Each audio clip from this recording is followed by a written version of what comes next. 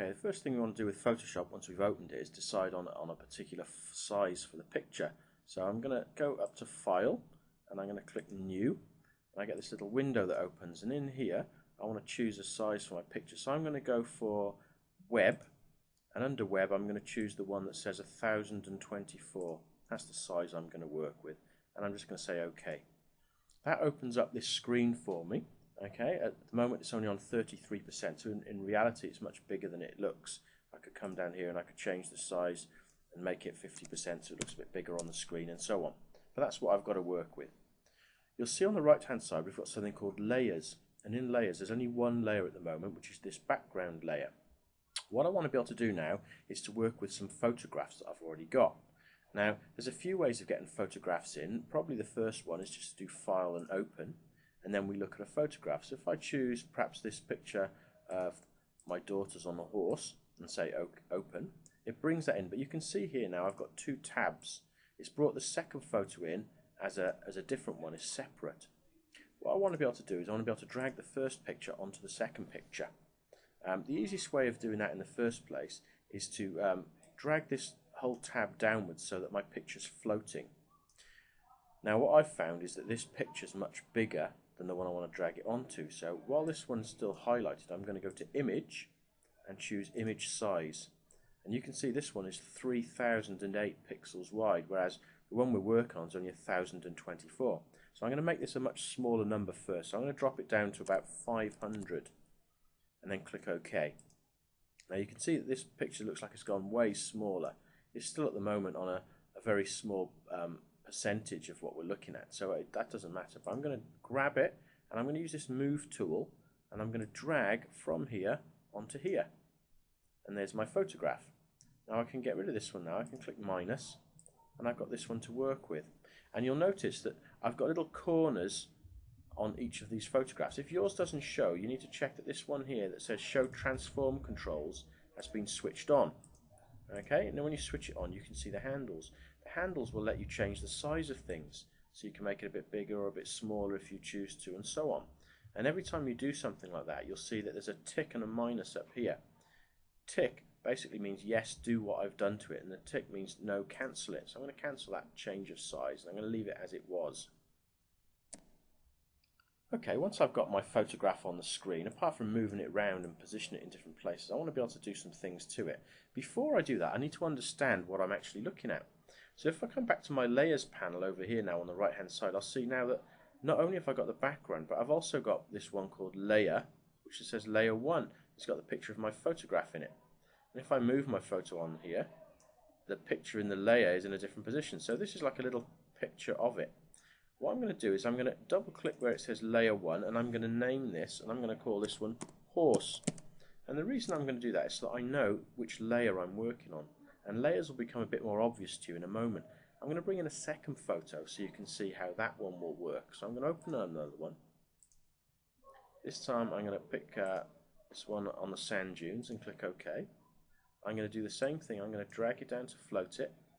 I'm going to change the image size to make it a bit um, bit smaller than it actually is. So I'm going to make this, maybe I'll make this one 800.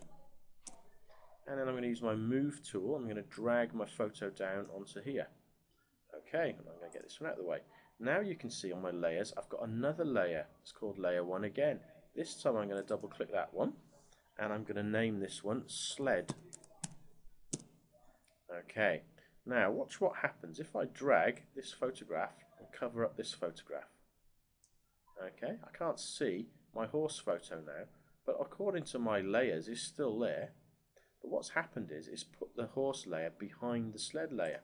Now if I drag my sled layer and put it lower down, watch what happens. It puts it on the top.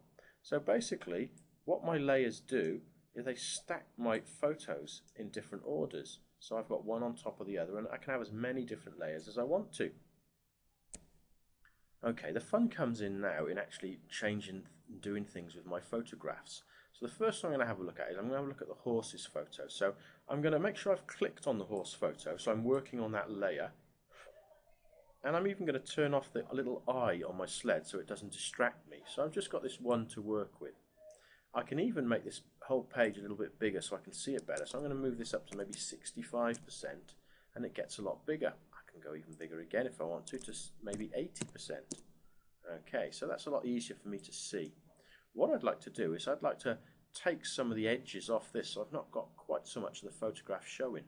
A good way of doing that is to use the eraser tool. So I'm going to click on my eraser tool and there it is, it looks like a big circle.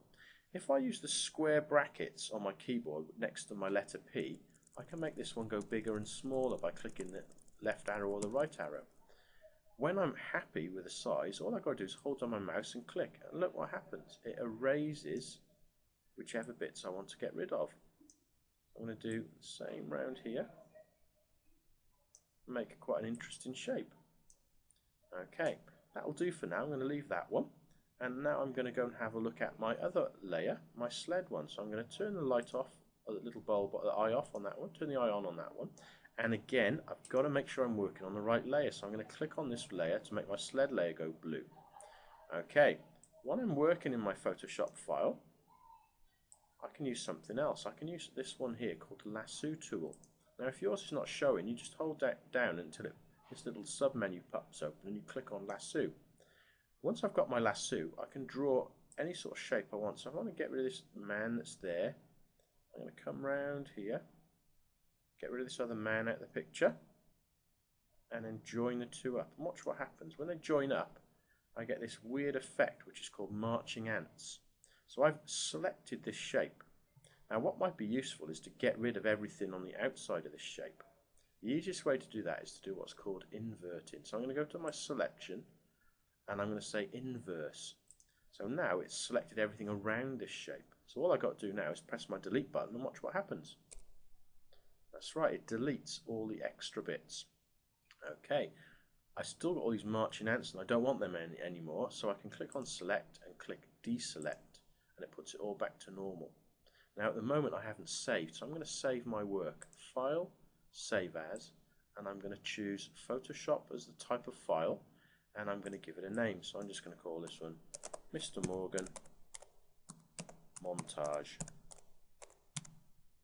Oop, I can't even spell my own name.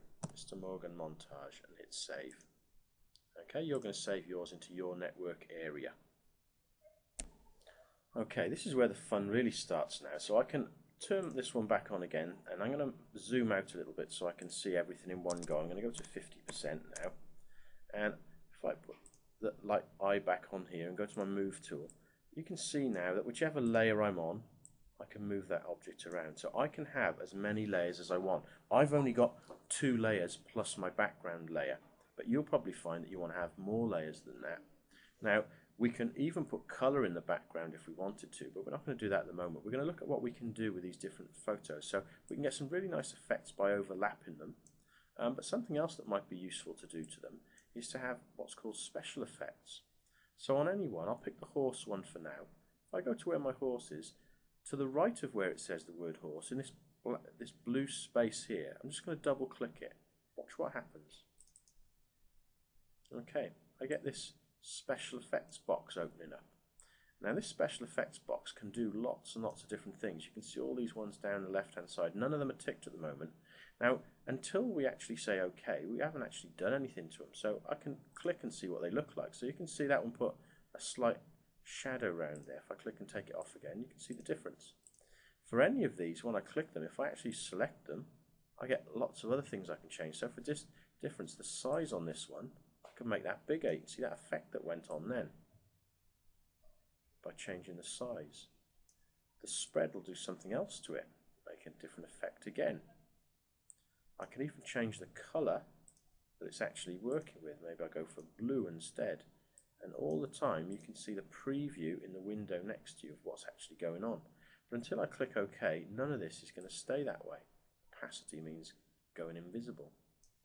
I've got various shadows that I can put on. Again, I can change what the shadows look like. I've got glows, so outer glows though is quite a nice one to use. Change that to a, a much brighter colour, maybe a pinky kind of colour. Say OK. Doesn't look like much is happening at the moment, so what I can do is I can increase the size a little bit. Maybe I'll make the spread a bit different. Still not doing very much. Change the noise. No, still doesn't look like very much. So perhaps I'll change the blend mode. Just go for normal and there suddenly it all looks much nicer. Opacity again is to do with how invisible or transparent it is. The size affects how much of it shows. You can have a very big a lot or a little bit, and so on. Now for all of these things, you can have a play around with them and you can see what effect they have. Textures, contours, bevel. Bevel's quite a nice one. You can put some strange effects on with bevels. Change the size of them. Bevel the edges to make these things look like they're three dimensions, and so on. So there's lots and lots of things here for you to play with. And when you're happy with any of the things you've done to them, all you have to do is click OK. okay. I'm going to take a few of these off so it doesn't look quite so, so strange. And I'm going to click OK. Now at any point later on, if I'm not happy, I can come back and I can edit it again. So even if I'm on my sled layer and I think mm, that horse layer doesn't look quite right, I'm going to go back.